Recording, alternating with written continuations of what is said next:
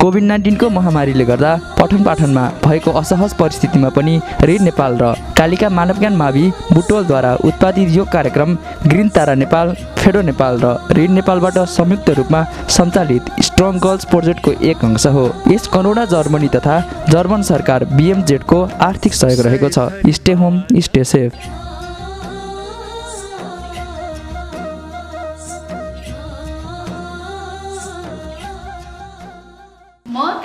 मानव ज्ञान माध्यमिक विद्यालयको नेपाली विषयको शिक्षक रिता खनाल।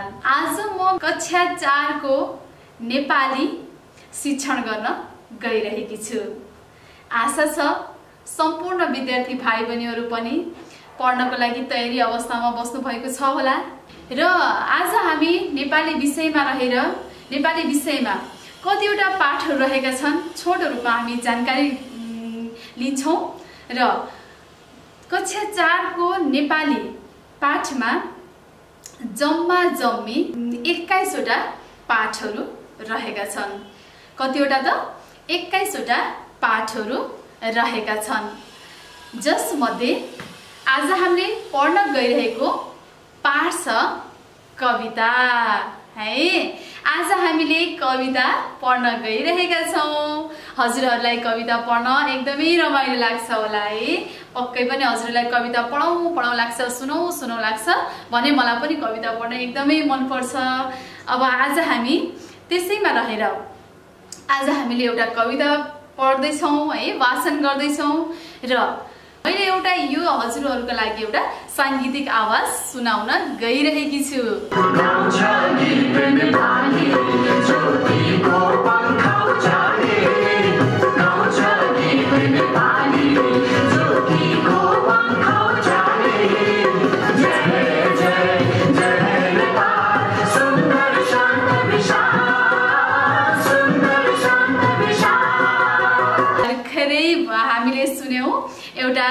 गाउँछ गीत नेपालीको गीत सुन्यौँ है।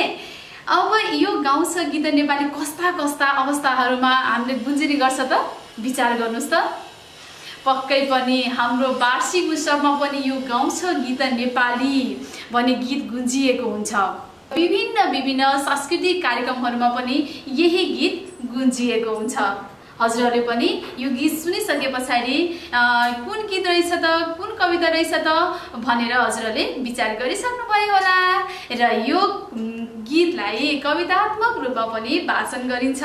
यो कविता कविता हो र यसलाई गीती गीती शैलीमा पनि वाचन गरिएको छ भने कवितात्मक शैलीमा पनि वाचन गरिएको छ। आज हामी पढ्न गइरहेका छौँ कविता। गाउँछ गीत नेपाली। है अब हजुरहरूलाई थाहा भइसक्यो साङ्गीतिक आवाजबाट पनि बुझिसक्नुभयो।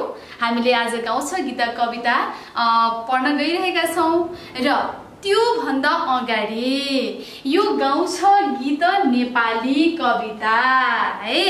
गाउँछ गीत नेपाली कविता कसले लेख्नु भएको हो त? यो जान्न अत्यन्तै आवश्यक छ।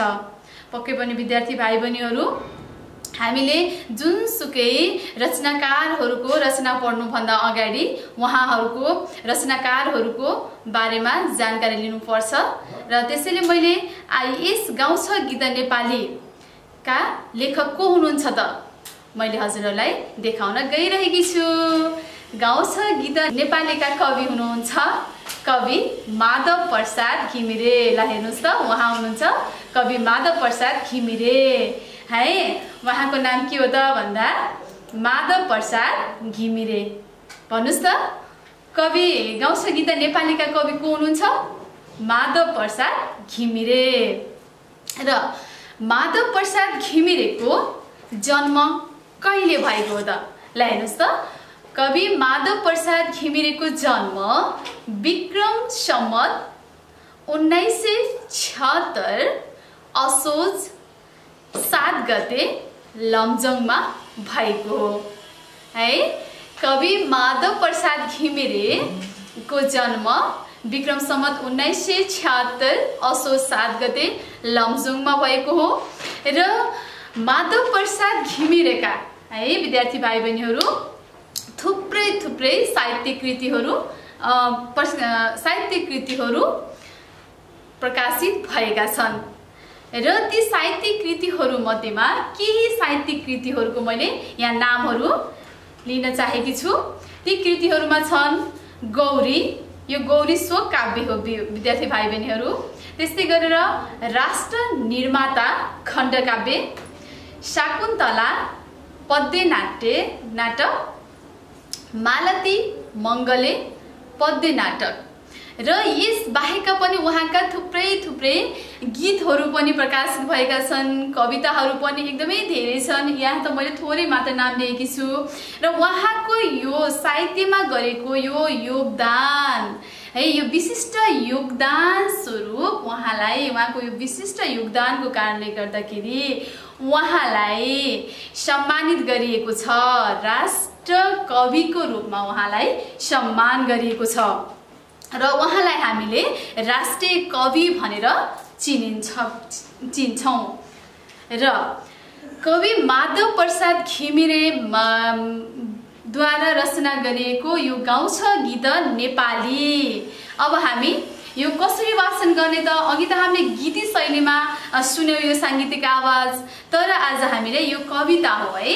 यो कवितालाई हामीले कवितात्मक शैलीमा वाचन गर्ने छौँ र त्योभन्दा अगाडि अब मैले हजुरहरूलाई बताउन गइरहेकी छु यो गाउँ छ गीत नेपाली। है यो यसको अर्थ मैले हजुरहरूलाई आज बताउन गइरहेकी छु। विद्यार्थी भाइ बहिनीहरू यता एकचोटि हेर्नुहोस् त। यो गाउँ छ गीत नेपाली। हजुरहरूलाई लागे लागेको छ होला होइन? यो कता कता नमिले जस्तो लाग्छ हामीलाई है? यसको पदक्रम यताउता छरिएको छ। पक्कै पनि यसको पदक्रम त मिलेको छैन। सुरुवातमा त कर्ता आउनु पर्ने हो तर यो कर्ता त अन्तिममा छ। है यसमा यो यो पदक्रम यो गाउँछ गीता नेपालीको पदक्रम मिलेको छैन। यहाँ त के छ के हुनुपर्ने त भन्दा नेपाली गीत गाउँछ। हुनुपर्ने हो। तर यहाँ गाउँछ गीत नेपाली छ। यसले भन्छ नेपालीले गीत गाउँछ भन्ने यसको अर्थ लाग्छ। यो त भयो यो पाठ कविताको शीर्षकको अर्थ। मैले हजुरहरूलाई बताएँ। अब पनि हामी विद्यार्थी भाइ बहिनीहरू हामी कवितातर्फ जाँदैछौँ। र सुरुवातमा मैले हजुरहरूलाई यस कविताको लयबोध गराउँछु। र हजुरहरूले मैले जसरी जसरी यो कवितालाई वाचन गर्छु हजुरहरूले पनि म सँगसँगै वाचन गर्न जानुहोला। र म जहाँ जहाँ रोकिन्छु त्यहाँ त्यहाँ हजुरहरू पनि रोकिनुहोला। र आफूलाई अलिकति अप्ठ्यारो लागेका शब्दहरू है? आफूलाई अप्ठ्यारो लागेको छ भने पनि त्यहाँ फेरि धर्को तान्नु होला मैले पुनः त्यो दो मैले दोस्रो पटक पनि यो दोहोऱ्याउने छु त्यसैले हजुरलाई अप्ठ्यारो लागेका शब्दहरू पनि हजुरहरूले टिपोट गर्नुहोला। र यो कविता भएको हुनाले मैले यो कवितात्मक शैलीमा यो वाचन गर्न गइरहेकी छु। विद्यार्थी भाइ बहिनीहरू ध्यान दिएर सुन्नुहोला है? र म सँगसँगै भन्ने पनि प्रयास गर्नुहोला। गाउँछ गीत नेपाली ज्योतिको पङ्ख उचाली। जय जय जय नेपाल सुन्दर शान्त विशाल। जय जय जय नेपाल सुन्दर शान्त विशाल। यसरी हामीले यो कविताको वाचन गर्छौँ। हजुरहरूले पनि म सँगसँगै भन्ने प्रयास गर्नुहोला है। ल ठिकै छ म अब फेरि दोस्रो दोस्रो पद्यतर्फ जाँदैछु। गण्डकी कोशी कर्णाली मेची र महाकाली लेकर बेसी बिउजाउँछन् लहर लाखौँ चाली लेकर बेसी बिउजाउँछन् लहर लाखौँ चाली हिमाल चोली बोलाउँछ पहिलो झुल्का निकाले। सगरमाथा शिखरमा पुग्दछ पहिले नेपाली। सगरमाथा शिखरमा पुग्दछ पहिले नेपाली। सीताले सारा भिजाइन् दक्षिण लङ्का भरत। भिरकुटी तारा उदाइन् उत्तर चीन तिब्बत। भिरकुटी तारा उदाइन् उत्तर चीन तिब्बत। बुद्धले यही पाएथे ज्ञानको पहिलो मुहान।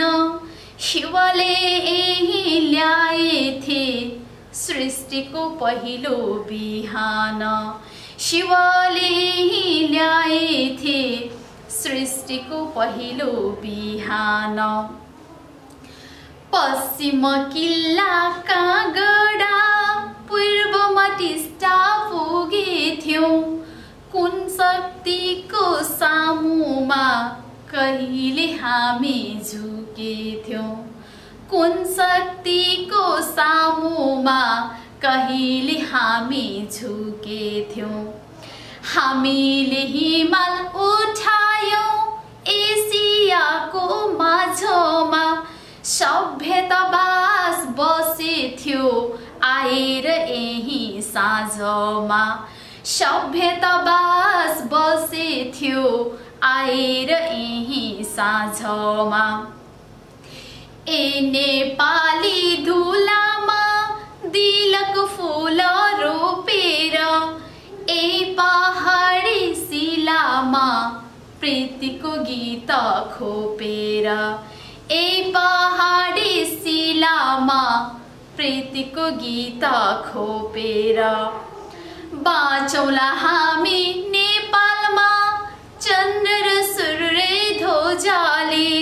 नाचौला हामी हिमालमा ज्योतिको पङ्खा उजाले। नाचौला हामी हिमालमा ज्योतिको पङ्खा उचाले यसरी हामीले यस कविता गाउँछ गीत नेपाली कविता वाचन गऱ्यौँ। र विद्यार्थी भाइ बहिनीहरूलाई पनि अब यो गाउँछ गीत नेपाली कविता वाचन गर्न पक्कै पनि आयो होला। मैले फेरि पनि हजुरहरूलाई यो त मैले ल- एकचोटि लयबोध गरेर सिकाएँ।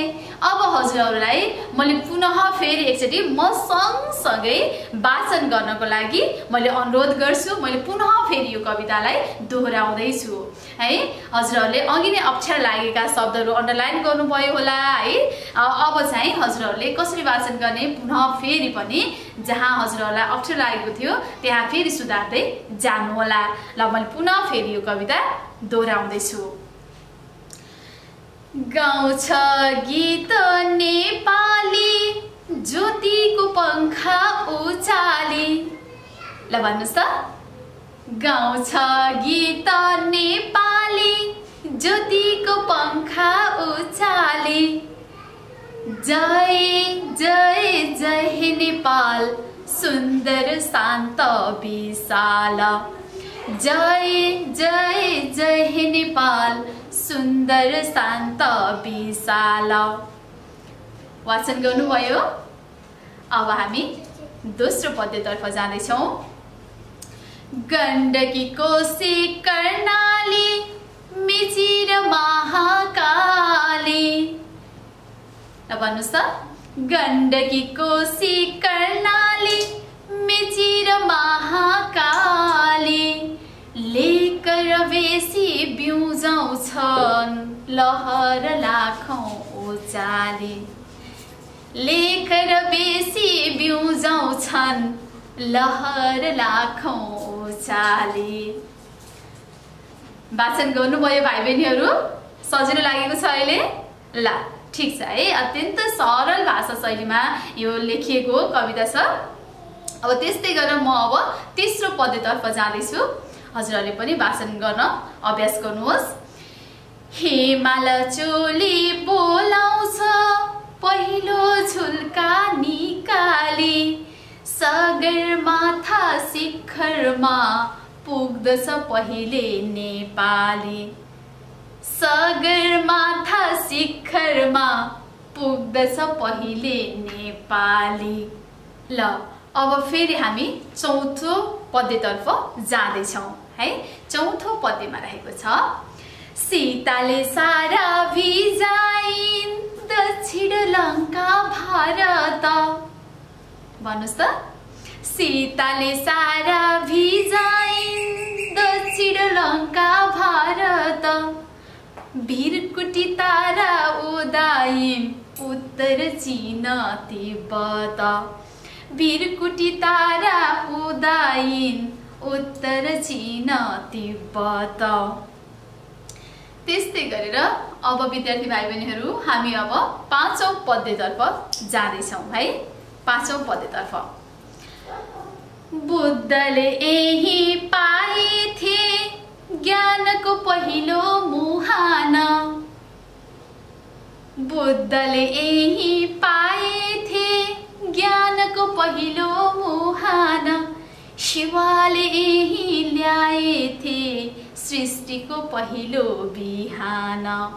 शिवले ल्याएथे सृष्टिको पहिलो बिहान। अभ्यास गर्नुभएको छ? भाइ बहिनीहरू हजुरहरूलाई पक्कै पनि सहज भएको होला। अब म फेरि छैठौँ अनुच्छेदतर्फ अनुच्छेद भने सरी म छैठौँ पद्यतर्फ म जाँदैछु। र विद्यार्थी भाइ बहिनीहरू हजुरहरूले अत्यन्त ध्यान दिनुहोला।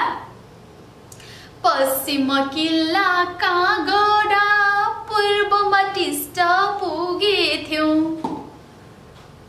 पश्चिम किल्ला काङ्गडा पूर्वमा टिस्टा पुगेथ्यौँ। कुन शक्तिको सामुमा कहिले हामी झुकेथ्यौँ?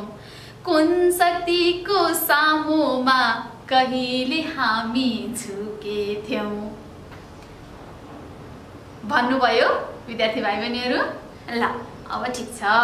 अब हामी सातौँ पद्यतर्फ जाँदैछौँ है। सातौँ पद्यतर्फ। हामीले हिमाल उठायौँ एसियाको माझमा हामीले हिमाल उठायौँ माझमा सभ्यता बास बसेथ्यो आएर यही साँझमा। सभ्यतावास बसेथ्यो आएर यही साँझमा। भन्नुभयो? भाषण गर्नुभएको छ? ल ठिक छ प्यारा विद्यार्थी भाइ बहिनीहरू अब हामी अब भाषण गर्न गइरहेका छौँ आठौँ पद्यतर्फ है? आठौँ पद्यतर्फ हामी जाँदैछौँ। ध्यान दिएर सुन्नुहोस्। ए नेपाली धुलामा दिलको फुल रोपेर ए नेपाली धुलामा दिलको फुल रोपेर ए पहाडी शिलामा प्रीतिको गीत खोपेर। ए पहाडी शिलामा प्रीतिको गीत खोपेर भन्नुभयो विद्यार्थी भाइ बहिनीहरू अब हामी अन्तिम पदतर्फ जाँदैछौँ है? अन्तिम पदतर्फ जाँदैछौँ। विशेष रूपमा अभ्यास गर्नुहोला भाइ बहिनीहरू अब अन्तिम पद्य के रहेको छ म वाचन गर्न गइरहेकी छु। बाँचौला हामी नेपालमा चन्द्र सूर्य ध्वजाली बाँचौला हामी नेपालमा चन्द्र सूर्य ध्वजाली नाचौला हामी हिमालमा ज्योतिको पङ्ख उचाली नाचौला हामी हिमालमा ज्योतिको पङ्ख उचाली भन्नुभयो विद्यार्थी भाइ बहिनीहरू ल अब हामीले यस कवितालाई वाचन गरेर वाचन गरिसक्यौँ। अब भने हामीले यस कविताको भावबोधतर्फ जानेछौँ। विद्यार्थी भाइ बहिनीहरू हजुरहरूले यो वाचन गर्न कतिको सहज मान्नुभयो? थुप्रैभन्दा थुप्रै अभ्यास गर्नुहोला। यो हजुरहरूको विद्यालय खुल्दाको समयमा मैले हजुरहरूले कतिको कविता पढ्नुभयो कतिको अभ्यास गर्नुभयो मैले परीक्षण गर्ने नै छु फेरि। त्यसको लागि हजुरहरूले यो राम्रो अक्षरमा पनि हजुरहरूले लेख्नुपर्ने हुन्छ। धेरैभन्दा धेरै अभ्यास गर्नुहोस् मलाई नहेरिकन अगाडि आएर पनि हजुरहरूले भाषण गरेर सुनाउनु पर्ने हुन्छ। त्यसैले हजुरहरूले यो विशेष रूपमा अभ्यास गर्नुहोला है? ल ठिकै छ। अब हामी भने यो कवितामा कविता त वाचन गरेर सकियो है? वाचन त गरियो तर यस कविताले है यो कविताले हामी यस कविताले हामीलाई के सिकाउन खोजेको छ? अर्थात् यस कविताको मूल भाव के हो त? मैले अब हजुरहरूलाई बताउन गइरहेकी छु। अब हजुरहरूले प्रत्येक पद्यतर्फ हेर्नुहोला है। अब हामीले यो प्रत्येक पद्यतर्फको भावबोध गर्दैछौँ। विद्यार्थी भाइ बहिनीहरू हजुरहरूलाई नोट गर्नुपर्छ भने पनि मैले भनेका कुराहरू बिस्तारै कपिमा पनि टिपोट गर्दै जानुहोला। साथमा अभिभावक हुनुहुन्छ भने हाम्रो अभिभावकज्यूहरूले पनि हाम्रो प्यारा विद्यार्थी भाइ बहिनीहरूलाई टिपोट गर्नको लागि सहयोग गरिदिनु होला है। यो मैले हजुरहरूलाई अनुरोध गरेँ। विद्यार्थी भाइ बहिनीहरू अब हामीले कविताको वाचन त गरिसक्यौँ होइन? कविताको वाचन गरिसके पछाडि अब यस कविताले हामीलाई के भन्न खोजेको छ र यस कविताको मूल मर्म आशय के हो यो विषयमा मैले हजुरहरूलाई बताउन गइरहेकी छु। मैले हजुरहरूलाई प्रत्येक हरफको मैले यसको मूल भाव बताउन गइरहेकी छु। हजुरहरूले यो टिपोट गर्नुपर्छ भने पनि टिपोट गर्नुहोला। हाम्रो आदरणीय अभिभावकज्यूहरू पनि छेउमा हुनुहुन्छ भने टिपोट गर्नका लागि हाम्रा प्यारा विद्यार्थी भाइ बहिनीहरूलाई सहयोग गरिदिनु होला यो मैले हजुरहरूलाई अनुरोध गरेँ। ल ठिकै छ। अब पहिलो हरफ पहिलो पद्यमा के भनेको छ त भन्दा गाउँछ गीत नेपाली ज्योतिको पङ्खा उचाली। जय जय जय हे नेपाल सुन्दर शान्त विशाल। यसमा के भनेको छ भन्दाखेरि नेपालीले गीत गाउँछ है? नेपालीले गीत गाउँछ। के गीत गाउँछ त? भन्दा नेपालीले नेपालको बारेमा गीत गाउँछ। र कसरी गीत गाउँछ त? भन्दाखेरि ज्योतिको पङ्खासरी है उत्साह उमङ्गसँग है खुसीसँग शरीरलाई मन फुरुङ्ग बनाउँदै है आफूलाई एकदमै प्रफुल्लित पार्दै नेपालीले गीत गाउँछ। र के को बारेमा गीत गाउँछ त? भन्दाखेरि नेपालीले नेपाल हाम्रो हाम्रो जन्मभूमि हाम्रो नेपालको बारेमा नेपालीले गीत गाउँछ। र नेपालीले कस्तो खालको गीत गाउँदै गाउँछ भन्दाखेरिमा हाम्रो यो सुन्दर नेपाल है? देख्दैमा पनि यति सुन्दर नेपालको सुन्दरताको शान्तिको र हाम्रो यो प्राकृतिक सम्पदाको गीत नेपालीले गाउँछ।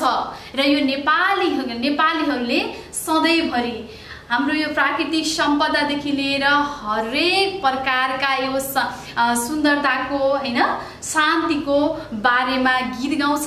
कसरी गाउँछ त भन्दाखेरिमा जय जय जय जयकार गर्दै आफ्नो नेपालको बारेमा हाम्रो नेपालको बारेमा नेपालीले गीत गाउँछ भनेर भनिएको छ। र यसको मूल भाव के हो त भन्दाखेरि यस मूल भाव के केसँग सम्बन्धित छ भन्दा यो नेपाल हाम्रो देश नेपालको है सुन्दरताप्रति र हाम्रो देशको प्रेमप्रति सद्भावप्रति यो सद्भावप्रति लेखिएको छ।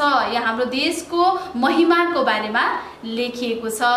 यसले हाम्रो देशलाई हामीले एकदमै माया गर्नुपर्छ है। हामीले यो हाम्रो देश नेपाललाई सुन्दर बनाउनुपर्छ शान्त बनाउनुपर्छ र हामीले सधैँभरि हाम्रो नेपालको जय जयकार गर्नुपर्छ भनेर कवि माधव प्रसाद घिमिरेले बताउनु भएको छ। बुझ्नुभयो विद्यार्थी भाइ बहिनीहरू त्यस्तै गरेर अब हामी दोस्रो हरफतिर जाउँ है। दोस्रो हरफमा रहेको छ गण्डकी कोसे कर्णाली मेची र महाकाली लेकर बेसी बिउजाउँछन् लहर लाखौँ उचाली लेकर बेसी बिउजाउँछन् लहर लाखौँ उचाले भनेर यो कवितामा अब यसरी भनिएको छ र यस कवितामा है यस हरफले फेरि के भावबोध गराएको छ भने हाम्रो देश नेपाल है हाम्रो देश नेपाल जल स्रोत र जल स्रोतमा अत्यन्तै धनी छ।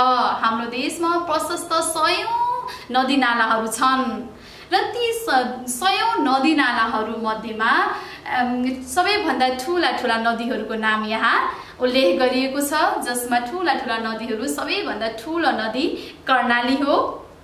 है यहाँ गण्डकी कोशी कर्णाली र मेची र महाकाली। है गण्डकी कोशी कर्णाली मेची र महाकाली गरेर पाँचवटा नदीहरूको नाम लिएको छ र सबैभन्दा ठुलो नदी कर्णाली हो। र विद्यार्थी भाइ बहिनीहरू यिनी नदीहरूले गर्दा पनि हाम्रो यो देश नेपाल अत्यन्त शोभामय बनेको छ है? अत्यन्त शोभामय बनेको छ। पूर्वमा मेची है? मेची नदी र पश्चिममा महाकाली नदीले हाम्रो यो नेपाली भूमिलाई पनि एउटा रक्षकको काम गरेको छ है? एउटा सीमाको काम गरेको छ। यिनी नदीहरूले गर्दा है हाम्रो देश नेपाल अझै के भएको छ त? भन्दाखेरि प्राकृतिक रूपमा पनि स्वच्छ भएको छ। है त्यस्तै गरेर लेक र बेसी बिउजाउँछन् लहर लाखौँ भनेर भनेको छ। यस्तै के भनेको छ त? भन्दाखेरि हाम्रो देश नेपाल तिनवटा अवस्थामा विभाजित छ। हजुरहरूलाई थाहा छ होइन? हाम्रो देश नेपाल तिनवटा अवस्थामा विभाजित छ। हिमाल पहाड र तराई। कतिवटामा त? हिमाल पहाड र तराई। यो हिमाल पहाड तराई गर्दै यी नदीहरू है यो पहाडको छुचुरादेखि पहाडको पहाडको फेससम्म र तराईको समतल भूभागसम्म यी नदीहरू बहँदै आउँछन् सलबलाउँदै आउँछन् गडगडाउँदै आउँछन् है? यिनी नदीहरूले हामी नेपालीहरूलाई के गराएका छन् त? भन्दाखेरि हामीलाई स्वच्छ बनाएका छन्। हाम्रो प्राकृतिक सम्पदालाई हराभरा बनाएका छन्। र यिनै नदी नालाहरूले हामी नेपालीहरूलाई बिउजाएका छन्। हामी नेपालीहरूमा जोस जागर उमङ्ग ल्याएका छन्। त्यसैले कविले यही कुरा यस भनाइबाट व्यक्त गर्नु भएको छ। यो हरा हरफबाट पनि यही भाव बुझ्न सकिन्छ। त्यस्तै गरेर विद्यार्थी भाइ बहिनीहरू अब हामी तेस्रो हरफतर्फ जाँदैछौँ है? अब यसमा के भनेको छ भन्दाखेरि कविता हिमाल चोली बोलाउँछ पहिलो झुल्का निकाले सगरमाथा शिखरमा पुग्दछ पहिले नेपाली। सुन्नुहोस् त सगरमाथा शिखरमा पुग्दछ पहिले नेपाली। सगरमाथाको शिखरमा को पुग्न पुगेको छ त? नेपाली पुगेको छ। अब यो भावमा पनि हेर्नुहोस् त कस्तो प्रष्ट भनेको छ। हामी हाम्रो संसारको सबैभन्दा अग्लो शिखर सगरमाथा कहाँ रहेको छ त? कहाँ रहेको छ? हाम्रो देश नेपालमा रहेको छ। है? संसारको सबैभन्दा अग्लो सगरमाथा हिमाल सगरमाथा हाम्रो देश नेपालमा रहेको छ। र विद्यार्थी भाइ बहिनीहरू यो नेपालमा संसारको सबैभन्दा अग्लो शिखर सगरमाथा हाम्रो नेपालमा छ भने यही नेपालको सगरमाथामा सबैभन्दा पहिला पाइल पा, पहिला पाइला टेक्ने मानिस को हो त। हो। त्यो सगरमाथामा पहिलो पाइला टेक्ने मानिस पनि हामी नेपाली हौ। नेपालीले नै पहिलो पटक सगरमाथाको सगरमाथामा पाइला टेकेको हो। र यो हाम्रो देश नेपालमा संसारका सबैभन्दा उच्च हिम श्रृङ्खलाहरू है हिमालहरू पनि यही भएको हुनाले है सूर्यको पहिलो किरण पनि हाम्रै यिनी शिखरहरूमा पर्ने गर्छ भनेर कवि माधव प्रसाद घिमिरेले बताउनु भएको छ। विद्यार्थी भाइ बहिनीहरू बुझ्नुभएको छ? पक्कै पनि हजुरहरूलाई नोट गर्नुपर्छ भने पनि छोटो छोटो रूपमा मैले भनेका कुराहरू नोट गर्दै जानुभएको छ होला नोट गर्नुहोला त्यस्तै गरेर अब हामी तेस्रो पद्यतर्फ चौथो पद्यतर्फ जाँदैछौँ। सीताले सारा भिजाइन् दक्षिण लङ्का भारत भिरकुटी तारा उदाइन् उत्तर चीन तिब्बत। भिरकुटी तारा उदाइन् उत्तर चीन तिब्बत। यहाँ के भएको छ? अब के भनेको छ त विद्यार्थी भाइ बहिनीहरू हाम्रो देशमा धेरैभन्दा धेरै राष्ट्रिय विभूतिहरू हुनुहुन्छ। है हाम्रो देशमा धेरै राष्ट्रिय विभूति हुनुहुन्छ। नेपाललाई चिनाउनु भएको छ। नेपालको रक्षाको लागि नेपालको लागि नेपालमा धेरै योगदान गर्नुभएको छ। जस्तै नेपालको बारेमा राम्रो योगदान गर्नुभएको छ। महत्त्वपूर्ण योगदान गर्नुभएको छ। उहाँहरूलाई हामीले विभूति भनेर भनिन्छ। त्यस्तै गरेर यहाँ रहनुभएका धेरै विभूति मध्ये सीता र भिरकुटी पनि हुनुहुन्छ। र सीताले कहाँ कहाँ चिनाउनु भयो त भन्दाखेरि सीताले हाम्रो देशलाई हाम्रो देशको गरिमालाई हाम्रो देशको सुन्दरतालाई हाम्रो पौरखलाई कहाँ चिनाउनु भयो त भन्दा दक्षिणमा दक्षिणको लङ्का। है पहिला हामीले लङ्का भनिन्थ्यो भने अहिले त्यहाँ अहिले हामीले श्रीलङ्का भनेर पनि चिनिन्छ। श्रीलङ्कासम्म सीताले चिनाउनु भयो के भनेर चिनाउनु भयो त भन्दा हाम्रो देशको शान इज्जत पौर प्रतिष्ठा हाम्रा सम्पदाहरूको बारेमा। सीताले दक्षिणमा गएर दक्षिण लङ्कामा चिनाउनु भयो त्यस्तै गरेर अर्की विभूति हुनुहुन्छ भिरकुटी। है भिरकुटी ताराले फेरि उत्तरमा उत्तरमा चिन र तिब्बतसम्म हाम्रो हाम्रो पौरख हाम्रो शान हाम्रो सुन्दरता है हाम्रो प्राकृतिक सम्पदाहरूको बारेमा वीर गोर्खालीहरूको बारेमा र सिङ्गो नेपालको बारेमा प्रचार गर्नुभयो भिरकुटीले। भनेर कवि लेखनाथ पौडेलले भन्नुभएको छ र हामीले पनि हाम्रो देशको सान गरिमालाई हामीले पनि सीताले र भिरकुटीले जस्तै गरेर चिनाउनुपर्छ। हामी पनि एउटा विभूति बन्नुपर्छ। हामी पनि उहाँहरू जस्तै एकदमै देशप्रेमी बन्नुपर्छ। देशको लागि धेरै महत्त्वपूर्ण काम गर्नुपर्छ भनेर पनि कवि माधव प्रसाद घिमिरेले हामीलाई बताउनु भएको छ। र विद्यार्थी भाइ बहिनीहरू अब हामी अर्को पद्यतर्फ जाँदैछौँ। है अर्को पद्यमा के रहेको छ भन्दाखेरिमा बुद्धले यही पाएथे ज्ञानको पहिलो मुहान। शिवले यही ल्याएथे सृष्टिको पहिलो बिहान। शिवले यही ल्याएथे सृष्टिको पहिलो बिहान। भनेपछि यो है? हरफमा नै प्रष्ट हुन्छ भाव प्रष्ट हुन्छ यहाँ के भनेको छ भनेर विद्यार्थी भाइ बहिनीहरू यसमा भनेको छ है संसारभर शान्तिको सन्देश छर्ने भगवान् गौतम बुद्ध पनि हाम्रो देश नेपालमा जन्मिनु भएको हो। है संसारभरिमा शान्तिको सन्देश छर्ने भगवान् गौतम बुद्धको जन्म पनि यही हाम्रो देश नेपालको माटोमा उहाँको जन्म भएको हो।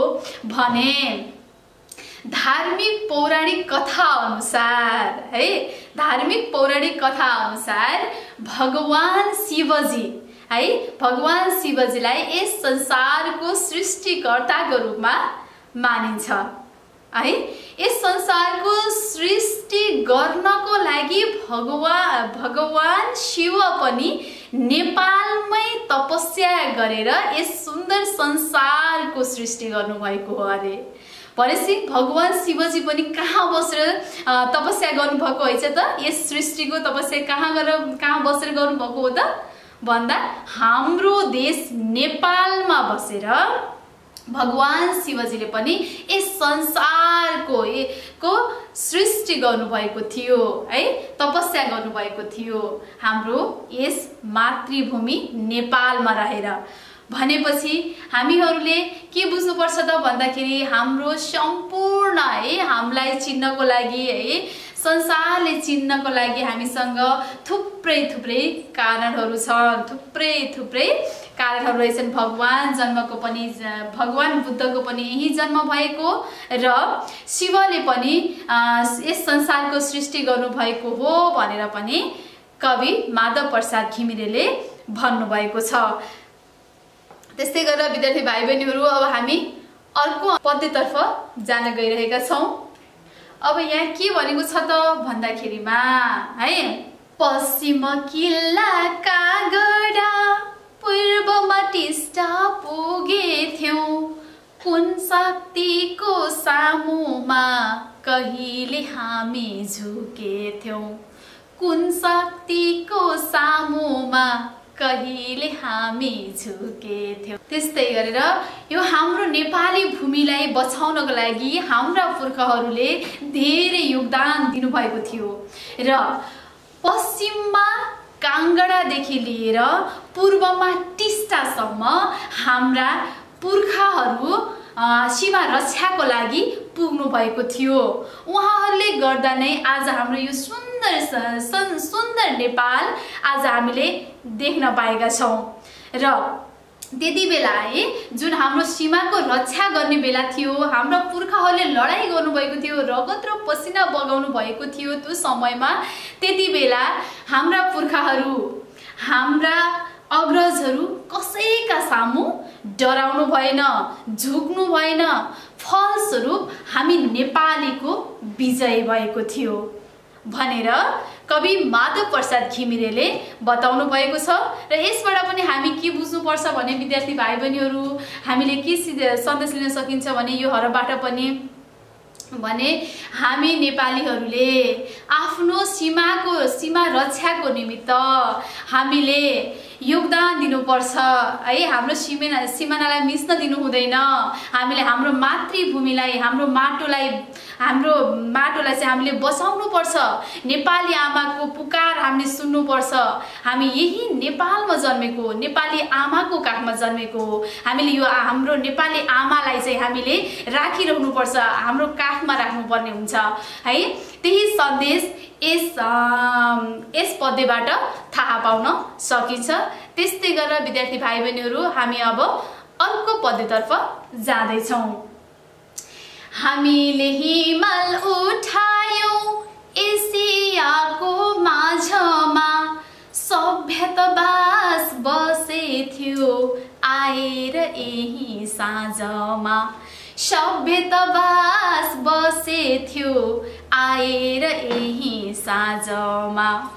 ल हेर्नुहोस् त यसमा के भनेको छ त भन्दाखेरि यस पद्यमा के भनेको भन्दाखेरिमा हाम्रो देश नेपाल है? हाम्रो देश नेपाल एसियाको मध्य भागमा पर्छ। है?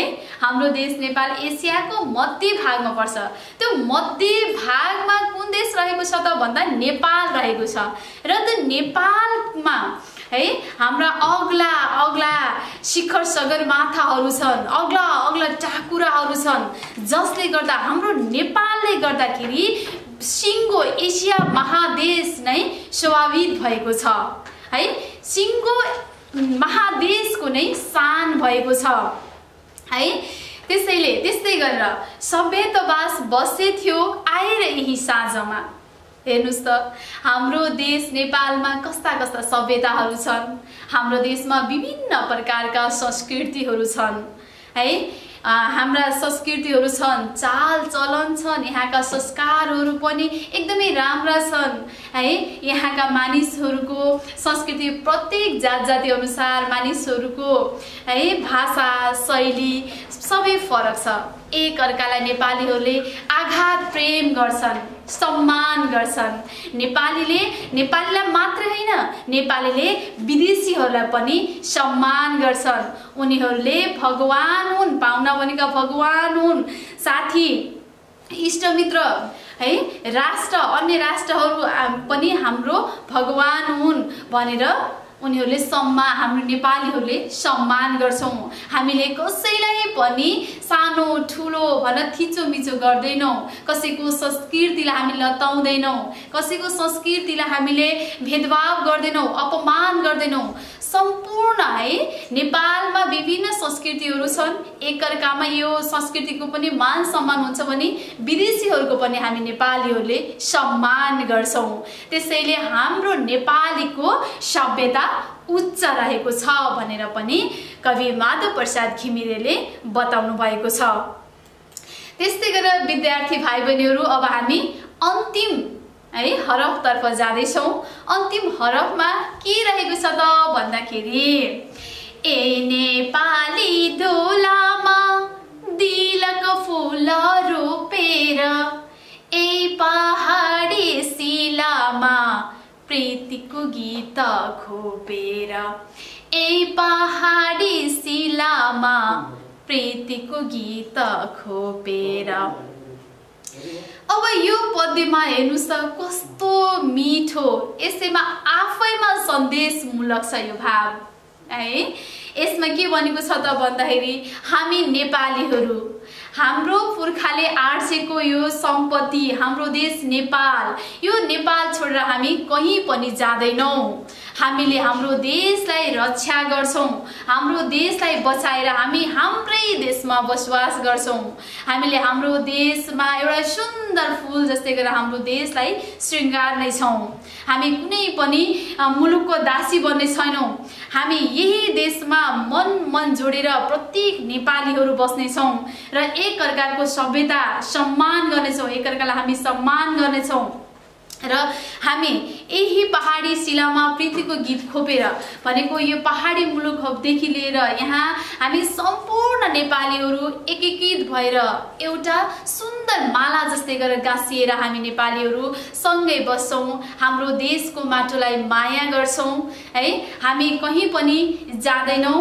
हाम्रो नेपाललाई हामीले सुरक्षित राख्छौँ भनेर पनि यो हरफबाट भन्न खोजिएको छ।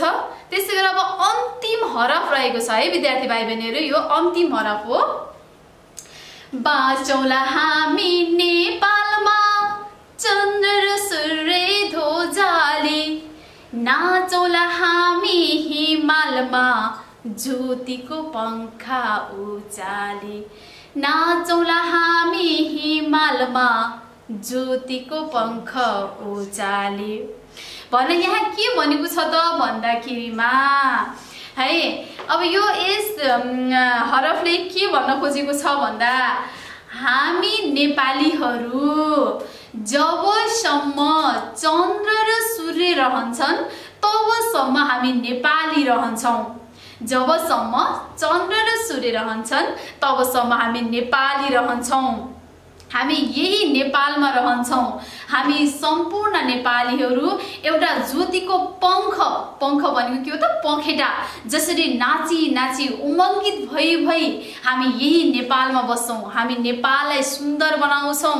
हामी नेपाललाई संसारभरि चिनाउँछौँ भनेर यस कविताको अन्तिम पद्यले बताएको छ। अन्तिम भाव पनि यही हुन्छ विद्यार्थी भाइ बहिनीहरू र निष्कर्षमा है यो समग्र यो कविताले के भन्न खोजेको छ भन्दाखेरिमा यो केमा केन्द्रित छ यो कविता भन्दाखेरिमा यो कविता पूर्ण रूपमा राष्ट्रको गौरवमा केन्द्रित छ। राष्ट्रको महिमामा महिमाको बारेमा केन्द्रित रहेको छ। हामीले हाम्रो राष्ट्रलाई सुन्दर बनाउनु पर्छ हाम्रो हाम्रो देशलाई माया गर्नुपर्छ। है हामी पनि भिरकुटी र तारा जस्तै गरेर एउटा विभूति हुनुपर्छ। देशको एउटा योग्य नागरिक हुनुपर्छ। हामीले देशको लागि धेरै सक्ने जतिको योगदान गर्नुपर्छ। हाम्रो देशलाई सुन्दर बनाउनुपर्छ जसरी प्राकृतिक सम्पदाले हाम्रो देशलाई शोभामय बनाएको छ त्यस्तै गरेर तिनी प्राकृतिक सम्पदाहरूको पनि सही रूपमा सदुपयोग गरेर हाम्रो देशलाई अन्य मुलुकभन्दा माथि उठाउनुपर्छ जसरी सगरमाथाको सगरमाथा शिखर अग्लो स्थानमा छ। त्यस्तै गरेर हाम्रो देशको मान सम्मान र हाम्रो देशको विकासलाई पनि सबैभन्दा अग्लो अग्लो स्थानमा उच्च स्थानमा पुर्याउनु पर्छ भन्ने पनि यस कविताको मूल भाव रहेको छ। विद्यार्थी भाइ बहिनीहरू हजुरहरूले यो कविताको मूल भाव बुझ्नुभयो होला? पक्कै पनि बुझ्नुभयो होला। र हजुरहरूले के काम गर्नुहोस् भन्दाखेरिमा हजुरहरूले यस कविताबाट है गाउँछ गीत कविताबाट गाउँछ गीत नेपाली भन्ने कविताबाट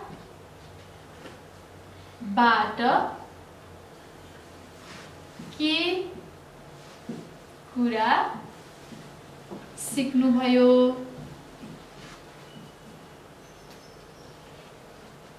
भयो सिक्नुभयो। सिक्नुभयो। नौवटा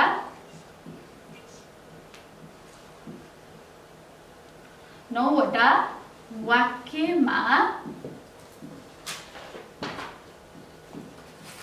लेख्नु होस्। हजुरहरूले यो गाउँछ गीत नेपाली कविता त पढिसक्नुभयो र यस कविता पढिसके पछाडि हजुरहरूले के कुरा सिक्नुभयो? नौवटा वाक्यहरू लेख्नुहोला त्यस्तै गरेर विद्यार्थी भाइ बहिनीहरू अब हामीले अभ्यासतर्फ जाउँ। अभ्यासमा म यो थोरै स्लाइडबाट देखाउन चाहेँ। अभ्यास एकमा रहेको छ गाउँछ गीत नेपाली। कविता शिक्षकले गाएको सुन र त्यसै अनुसार गाऊ भनेको छ। है? यो कविता त मैले वाचन गरिसकेँ।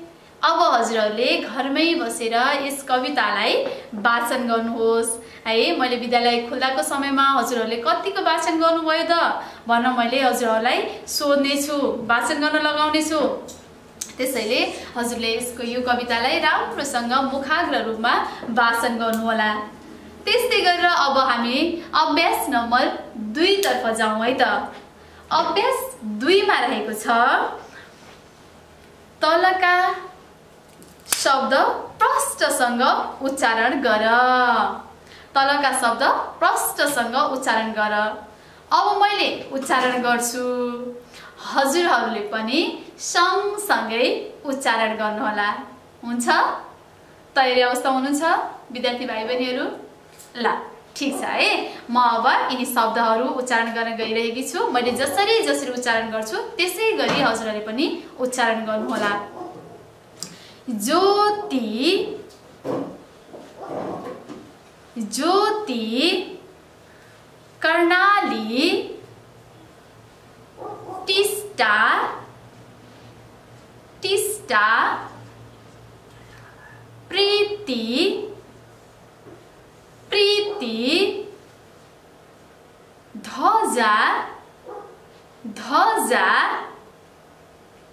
भ्रिकुटी भ्रिकुटी बुद्ध बुद्ध सृष्टि सृष्टि दिल दिल विद्यार्थी भाइ बहिनीहरू हजुरहरूले यो प्रष्टसँग उच्चारण गर्नुभयो होला र हामीले यो उच्चारण गरेका शब्दहरू पनि टिपोट गर्नुपर्ने हुन्छ र यो प्रष्टसँग उच्चारण गर भनेको यिनी शब्दहरू पनि हजुरहरूले आफ्नो कपीमा लेख्नुहोला यो हजुरहरूको अभ्यास हो। त्यस्तै गरेर मैले हजुरहरूलाई अर्को अभ्यासतर्फ पनि लाँदैछु। है अर्को अभ्यासमा रहेको छ चार नम्बरमा कवितामा। है कवितामा प्रयोग भएका नदीहरूको नाम लेख्नुहोस्। है यस कविता गाउँछ गीत नेपालीमा प्रयोग भएका नदीहरूको नाम हजुरहरूले लेख्नुहोला। यो हजुरहरूको घरको काम हो। र त्यस्तै गरेर ल विद्यार्थी भाइ बहिनीहरू यो अभ्यास हजुरहरूले आफ्नो कपीमा लेख्नुभयो। ल हजुरहरूको घरको गृह कार्य हो। यो हजुरहरूले टिपोट गर्नुहोला। टिपोट गर्नुभयो विद्यार्थी भाइ बहिनीहरू ल अब टिप्पण गरिसक्नुभयो भने आजको कक्षा विद्यार्थी भाइ बहिनीहरू यति नै है? अब बाँकी अभ्यास हामीले दोस्रो कक्षामा गर्नेछौँ। त्यति बेलासम्म हजुरहरूले राम्रोसँग आफ्ना कक्षा कार्यहरू गर्नुहोला होइन? घरका कामहरू पनि गर्नुहोला। र हजुरहरूलाई हजुरहरूले गर्नुभएका यिनी कक्षा कार्यहरू घरका कार्यहरू हामीले विद्यालय खुल्दाको समयमा परीक्षण गर्नेछौँ। त्यसैले हजुरहरूले आफ्नो अक्षरलाई एकदमै शुद्ध बनाउनुहोस् है प्रष्ट लेख्नुहोस्। एउटा सफा अलग्गै छुट्टै कपीमा यो नेपालीको गृह कार्य अभ्यासहरू लेख्नुहोला। भन्दै आजको यो कक्षा यही समाप्त भएको छ। आजलाई म बिदा हुन्छु। हस्त नमस्कार। हजुरको दिन शुभ रहोस्।